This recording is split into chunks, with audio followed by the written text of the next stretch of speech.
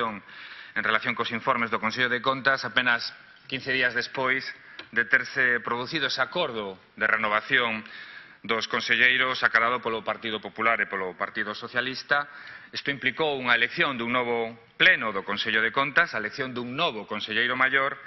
e, ademais, un conselleiro maior e un Consello de Contas que estrean funcións ou ter asumido este ente eh, funcións en materia de prevención da corrupción. E isto acontece ao mesmo tempo en que este pleno mantén eh, como membro eh, do Consello de Contas a unha persoa, o señor Dositeo Rodríguez, imputado polo papel realizado na Fundación eh, Camilo José Cela. A nos nos parece que isto afecta directamente á credibilidade deste ente e nos parece que igual que se tenga acordado a renovación dos cargos, os dous partidos principales do Parlamento, con máis peso, polo menos, poderían ter acordado e instado ao Consello de Contas o cese fulminante desta persoa.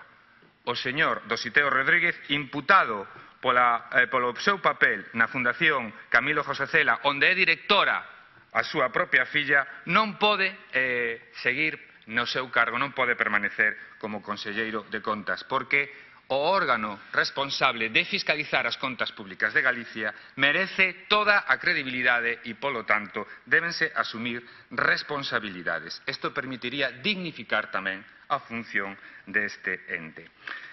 Polo tanto, e entrando xa e eh, facendo referencia ás nosas propostas de resolución, poucas delas foron asumidas, tan solo dous, empezamos realizando dúas propostas, eh, dúas recomendacións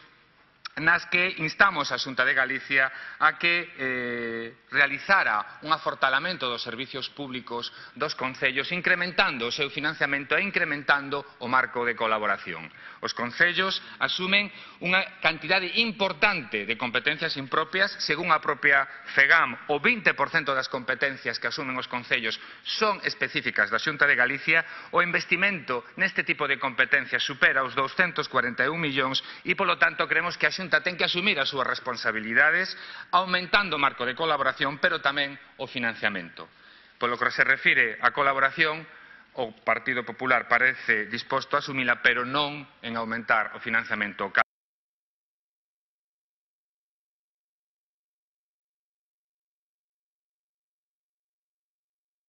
deixa moi claras, moi claras cales son as verdadeiras intencións. Eso é o que nos, polo menos, pensamos.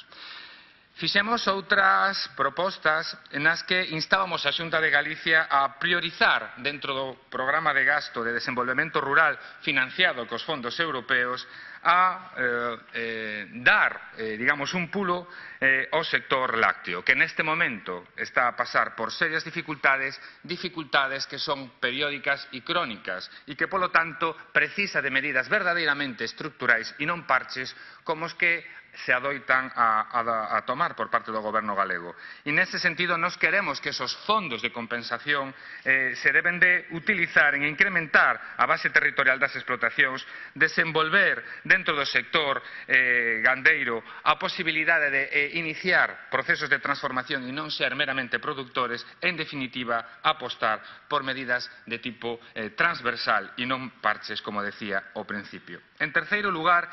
Instamos a Xunta de Galicia a que execute os fondos de compensación interterritorial porque o propio Consello de Contas, nos seus informes de fiscalización, detecta un deficiente grado de execución nestos fondos fundamentais para o desenvolvemento do noso país e que, polo tanto, deben de ser executado na súa totalidade e non parcialmente como establece, insisto, claramente o propio Consello de Contas. Instamos tamén a Xunta de Galicia a presentar a rendición da conta xeral antes do 30 de xuño do ano seguinte ao ano fiscalizado. Isto non é outro, outra cousa que o mesmo que reivindica o propio Consello de Contas o fixo o propio Conselleiro Maior dictaminou claramente que o Consello de Contas pode adiantar os seus informes sempre canto a Xunta de Galicia adiante a presentación, a rendición da conta xeral. Pero o Partido Popular parece non ter vontade de que isto se poda facer e, polo tanto, que a, fiscalización das contas públicas de Galicia sea verdadeiramente eficaz e non se dilate moitas veces eternamente no tempo. Finalmente, propuxemos a creación dunha comisión de estudo parlamentar sobre a viabilidade da débeda pública de Galicia. Os informes do Consello de Contas son taxativos en relación con esta cuestión e establece o propio Conselleiro de Contas o decía na súa última comparecencia que estamos nun risco de insostenibilidade